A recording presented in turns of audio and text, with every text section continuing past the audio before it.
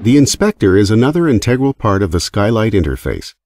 Always available at the press of a button, it provides instant access to the current track or bus properties, as well as selected clip properties, the current channel mix controls, and the Pro channel. By default, the inspector is docked to the left of the track view, but can also be docked to the right or floated.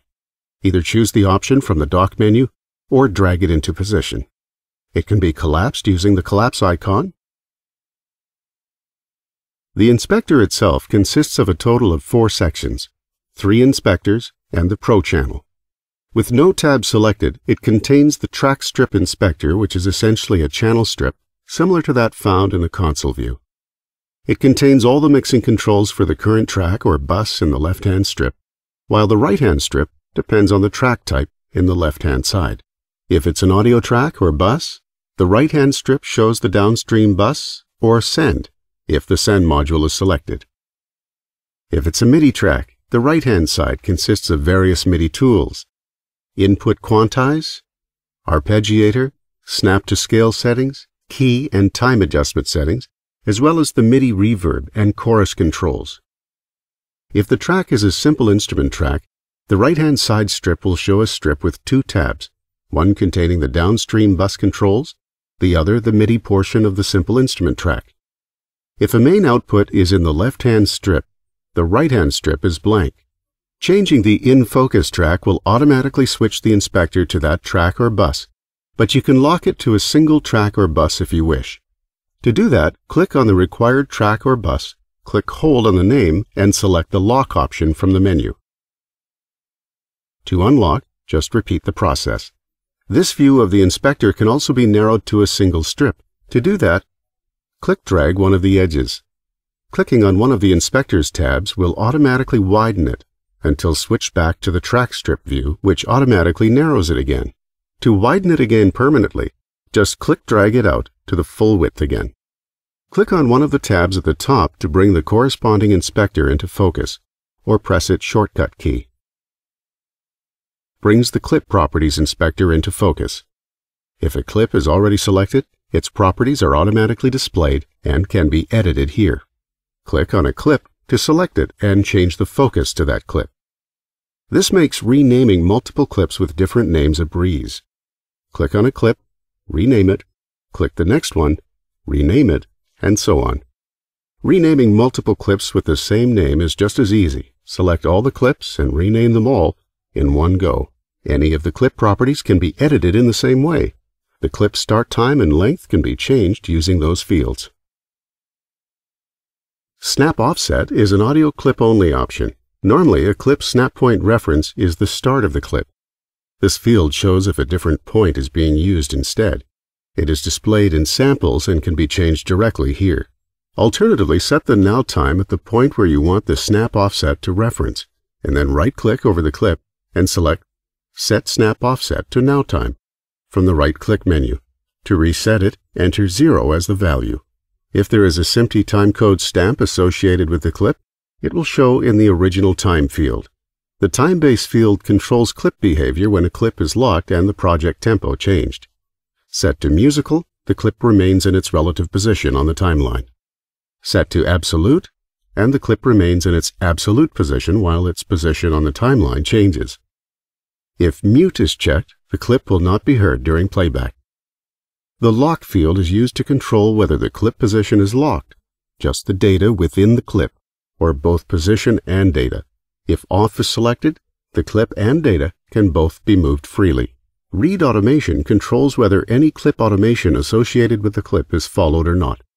This field is only editable if there is a clip automation present on the clip. Clips linked displays how many clips, if any, are linked to the current one. Linked clips have the same content, name, and color. Changes made to the internal contents of any one of the linked clips is reflected in the others. The foreground and background color selectors control the relevant colors of the clip. Use Track Colors returns the clip to the default as set in Preferences. There are a further three property sections for clips. Groove Clip contains all the properties for groove clips. Looping, when checked, converts the clip into a groove clip.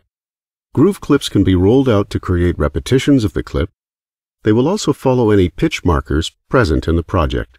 Note that V-Vocal clips and clips with Audio Snap active cannot be used as groove loops. Stretch to tempo stretches or shrinks the clip to fit the tempo. It uses the beats and clips markers and original tempo settings to calculate the change. The rest of the properties available for editing are dependent on the clip's looping and stretch to tempo states. Number of beats is the number of quarter beats that Sonar has detected in the clip, while the original tempo indicates the tempo that the clip was recorded at. These two figures are closely related, and changing one will automatically change the other. Which of these is available to edit depends on the loop and stretch options. The next four options all refer to the pitch of the clip. Follow pitch sets whether the clip will respond to any pitch markers in the project.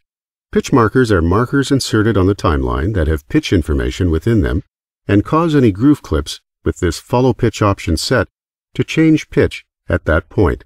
The reference note field sets the clip's original pitch that is used for further pitch changes. Pitch is used to set an offset to this reference note, transposing the clip by the number of semitones, either up or down if a negative number is entered. Fine pitch does the same but in steps of a cent. The Audio Snap tab contains all the properties for Audio Snap clips. They won't be available unless Audio Snap is turned on, which can be done by clicking on Enable. To see the transients on the clip, the Tracks Edit filter needs to be set to Transients. Remember that Audio Snap, Groove Clips, and V-Vocal are all mutually exclusive.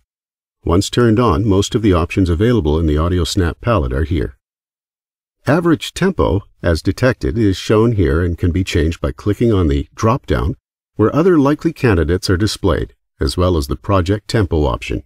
Follow Project Tempo forces the clip to follow the project's tempo map, while Follow option sets the resolution used. Filter Threshold and Filter Resolution are used to disable transients based on either level, using the threshold control or their position relative to the beat using the resolution field. Lower threshold settings enable more transients. Online and offline render are used to choose the default render algorithm used for playback and bouncing, respectively. There is a trade-off with the online render between quality and processing power used. Results will always be better when bounced. The Enable Stretch option stretches the clip to fill a specific amount of time. The stretch amount indicates any change to the clip in percentage terms. New Duration specifies the length of the clip. New Through Time specifies the clip endpoint. These settings will reflect any changes made using the Control-Click-Drag method of stretching clips in the track view. At the very bottom is the Clip Effects bin, where the clip effects can be managed from. Any existing clip effects will show here, and right-clicking will show the FX management choices. Click on the Track tab to show the Track Properties Inspector.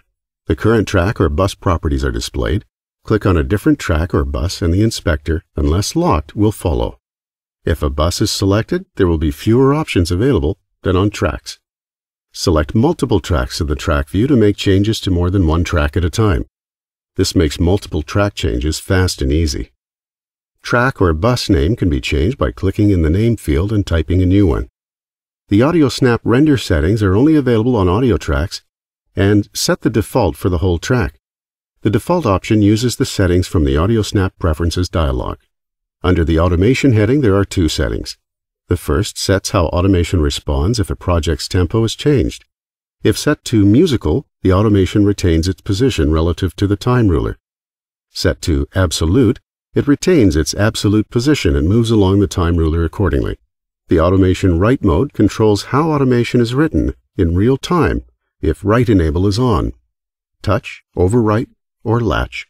Touch always follows existing automation unless the control is being touched, in which case new automation data is written. Overwrite starts with writing automation data immediately and continues to overwrite all existing automation. Latch will follow existing automation until the control is touched, at which point it starts overwriting existing automation and continues to do so until playback is stopped. The color section sets the colors used for the whole track either on an individual track basis using the foreground and background options, or to follow the track color preference setting. Use the Tracks field to choose which of the 10 track color groups is used. There is also a description field here where track notes can be made. Simply click in the field and type as required. The Pro Channel is a modular fantasy console built into every track and bus in Sonar. It is designed to emulate many of the classic console processors and has a small graphic footprint and low CPU demand. Not only does it sound great, but is also very ergonomic. Simply click on a track or bus to bring it into view. It is always there, ready to be adjusted when needed. No more hunting through VST windows to make changes. It consists of one or more modules that, with the exception of the ever-present quad curve EQ, can be added and removed as required. X2 ships with several modules including compressors, reverb, and tube saturators. There are also more available from Cakewalk and third-party developers. The Inspector, all your track and clip properties, track control and Pro Channel, in one easy-to-use space, hidden or shown in an instant.